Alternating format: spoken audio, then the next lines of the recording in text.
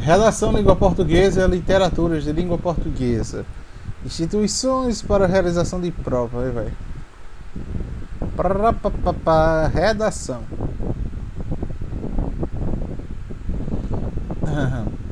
Como um aluno do ensino médio interessado em questões de atualidade, você já leu o artigo A Volta de um Rio que Faz Sonhar, sentindo-se desafiado pelos questionamentos do levantamento do texto. Você decidiu escrever uma carta para uma seção do leitor de revista Rio Pesquisa. Em sua carta, discuta a relação estabelecida pela autora entre o conceito do Brasil cordial e da presença dos estrangeiros no Brasil, apresentado no argumento em defesa de um ponto de vista sobre a questão. A volta de um rio para o que a volta de um rio que faz sonhar. A, é, referenciada mundialmente por suas belezas naturais na cidade do Rio de Janeiro, tem se transformado em espaço sonhado para aqueles que buscam construir seu futuro para a terra estrangeira. Imigrantes de origem variadas e, e vem chegando à cidade, buscando garantir sua so, sobrevivência e fugir da pobreza e transformar seus sonhos em realidade.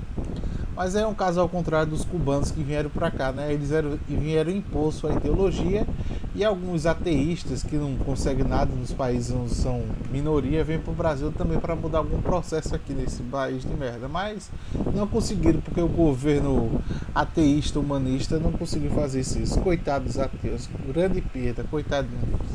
Esse processo é, insere-se insere-se em um quadro mais geral de transformações. Graças ao Sul, o país vem se tornando mais uma vez, uma, é, mais uma vez na história importante lugar de chegadas em momentos que as políticas e a vigilância do controle sobre estrangeiros aprofundam-se no país ricos em crise. Mentira. Bora lá a Alemanha não está em crise e eles e os estrangeiros da os refugiados estão indo para tudo para a Alemanha, mas deixa para lá, porque é um país evangélico. Essas novas situações exigem estudos que ultrapassem as questões pontuais para incluir análise sobre as relações presentes e passadas no local, nacional e internacional e entre as práticas de representações sobre o outro. O recente episódio da entrada abrupta de haitianos do Brasil, sem dúvida, apontou a necessidade de análises ampliadas.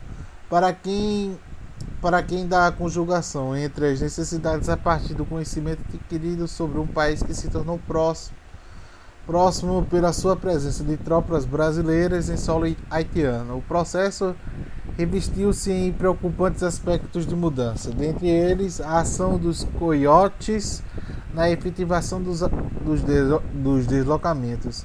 Marcada a iniciativa do ingresso de um país no contexto do qual grupos organizados vivem imigração ilegal, máfias internacionais enriquecem com o tráfico humano. O episódio pode ser visto assim. Assim aponta um iceberg que tende a envolver a América Latina e o Caribe, considerando-se uma das tendências dos processos migratórios da atualidade. Mas os haitianos nem ficam muito no Brasil porque aqui não tem muita oportunidade mesmo, eles vão, fugir. As imigrações do Brasil no país cordial. A, a pré, predisposição do Brasil em receber estrangeiros de braços abertos. A ideia de consagrar necessita sofrer o peso da crítica. Pesquisas variadas têm demonstrado que o país nunca foi nunca foi imune aos processos de discriminação do outro. Por exemplo, entre vários por exemplo, entre vários pode ser dado uma prática de expulsão de estrangeiros na Primeira República, 1907 a 1930, que caracterizou uma extrema violência, mesmo com aqueles que já eram considerados residentes, portanto, como os mesmos direitos constitucionais dados aos brasileiros. A representação de um Brasil cordial, desta vez, deve, -se, deve ser entendida como a construção forjada de determinado momento da nossa história, Lógico que as reações diferiram e diferem de acordo com as relações daqueles pelo local de nascimento ou pela cor. Classificamos como superiores ou inferiores. Vários indícios vêm demonstrando que as atitudes discriminatórias não ficam perdidas no passado, mas podem ser encontradas com relativa facilidade. Igualzinho esse camarada aí que está digitando. Quando treinamos nosso olhar para melhor observar aquilo que nos cerca, é quando você transforma aquilo que não é nada em coisa, é, uma fobia, e sempre exagerando em tudo que você está pensando, é, é, extrapolando, aumentando, ampliando cada vez mais. Vamos lá. As tensões entre os brasileiros e bolivianos nos locais onde estão mais presentes, por exemplo, já são bastante visíveis. Isso sem falar no triste espetáculo do subemprego da exploração que são sujeitos os latino-americanos fixados ilegalmente no país. É urgente, portanto, nós perguntamos como tendemos a ver, a sentir a presença cada vez mais visível de estrangeiros no solo brasileiro, principalmente daqueles que são oriundos de países pobres, muitos deles necessitados do foco dos direitos humanos. Seremos sensíveis aos discursos das práticas xenofóbicas? Não, vamos continuar colocando esse povo aqui e debilitando o nosso, o nosso, nosso público brasileiro nascente aqui do Brasil. É sempre assim, vamos ajudar o mais necessitado e nunca o, o, já com necessidade aqui. É. Quem está sendo mais? Você cuidaria do seu filho que está passando fome ou cuidaria daquele do menino de rua que está passando fome? Qual dos dois você? Qual qual você seria mais humano? Para eles o mais humano é cuidar do inocente de outra pessoa. É, def, defenderemos políticas restritivas e repressoras. Caminharemos para a sofisticação de um instrumento de vigilância sobre o outro que possa ser visto como ameaça. Responder para essas questões. Aqui e agora seria um, um um exercício da profecia que não cabe a fazer. Isso não exclui, entretanto, a reflexão sobre as possibilidades que sejam propostas, por mais penosa que ela possa ser, principalmente se consideramos com rapidez o processo em curso com a tensão mundial presente no embate de interesses nacionais e direitos humanos. Adaptação de Lear Medeiros Menezes a volta de um rio que faz sonhar. Rio Pesquisa, Rio de Janeiro, ano sei lá o que, página 20, página 48 e 50, setembro de 2012. Oh. Pá, pá, para. Como voluntário da Biblioteca de Barca de Livros, você foi responsável por escrever um texto de apresentação de campanha de arrecadação de fundos para a instituição. Em seu texto, que estará disponível no site Barca dos Livros, presentes com base em notícias abaixo, histórico das ações da biblioteca mostrando a importância da doação para a continuidade do projeto. A Barca dos Livros ocorre o risco de fechar por falta de apoio financeiro. Em 2014, a Barca dos Livros foi eleita a melhor biblioteca comunitária do, do país pelo Ministério da Cultura e, e da Educação, graças ao trabalho de voluntários apaixonados por literatura e que consideram a arte fundamental para a infância. A instituição, que vem quase uma década formando por eleitores promovendo a cultura de filantrópico Florianópolis, precisa, no entanto, de um impulso material para continuar existindo. Para chegar ao posto de referência do país, a Barca dos Livros navegou por mares calmos e revoltos.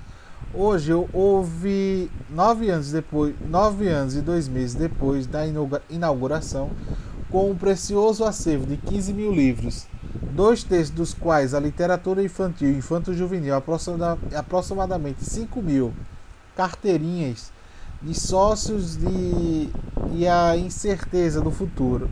Desde maio do ano passado, está em aluguel atraso no atual sede, no espaço de 125 metros quadrados, na lagoa do, do Yacht Club, Yacht Club.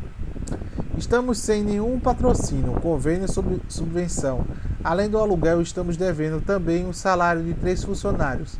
A barca é tocada por voluntários onde, acontece que foi acontece que nunca foi fácil, nunca esteve ao ponto de quase fechar. Lamenta a coordenadora do projeto Tânia Pi, Pia, sei lá quem. De 2010 até maio do ano passado, o convênio da Fundação do Cultural de Florianópolis, Franklin Cascais, é, garantiu o pagamento do aluguel o valor de 6.000,5 mil, por mês. Mas a parcela não foi renovada. Todas as, as atividades são gratuitas, apenas para passeios de barco, de, contra, de contratação de histórias realizadas no seguro do, do sábado de cada mês. É cobrado o valor de R$ reais para adultos que acompanham as crianças. Nosso material do espaço de livros, tudo é renovado graças ao trabalho dos voluntários. Precisamos de parceiros fixos que queiram ajudar. Acolhimento literário. Em 2007 até hoje, os voluntários da barca vieram, é, é, viram crianças que engatilhavam, é, engatilhavam lerem as primeiras palavras depois de amar a leitura. Despertaram a paixão pela ficção contando história, histórias viram as mães com os bebês de colo pegando no sonho dos confortáveis sofás da sala de leitura, aconchegados por um ambiente de acolhimento literário. Nascida em Nova Veneza, sul do estado, há 68 anos, Tânia sei lá quem começou a dar suas aulas aos 14 anos. Cursou letras e fez mestrado e doutorado na área de educação e literatura. Foi a primeira representante de Santa Catarina nos anos 70 e a selecionar livros para a Fundação Nacional de Livros Infantis, Infantil, que cada ano premia os melhores, as, as melhores publicações para as crianças e jovens. Duas décadas depois, com o aumento de livros editados para esse público, quando começou era no máximo 10 por ano. Hoje são cerca de 1.200 novas edições. Passou a convidar pessoas para ajudar e selecioná-los Daí surgiu o núcleo de 25 leitores especialistas que formou a Sociedade de Amantes da Literatura, a ONG que criou e sustenta legalmente a barca. Nem sabíamos que ficaria grande. Queremos continuar e aumentar o atendimento, abrir ao público a todos os dias e sonho. Temos que estar disponíveis a manter a qualidade. Mas sem dúvida as pessoas e as crises financeiras suspira Tânia. Hoje a barca abre ao público a terça aos sábados, 14 horas às 20 horas.